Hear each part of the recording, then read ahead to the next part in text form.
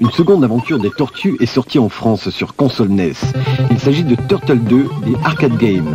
Grande innovation par rapport à l'épisode précédent, on peut jouer cette fois à deux joueurs simultanément. Malheureusement, l'originalité et la réalisation de ce jeu de combat laissent parfois à désirer, avec, comme vous le voyez, de nombreux clignotements de sprites et une certaine linéarité de l'action. Mais tous les fans des tortues y retrouveront la jolie April, regardez, elle est complètement affolée en attendant que les tortues viennent la délivrer, et la grande galerie de vilains de la série.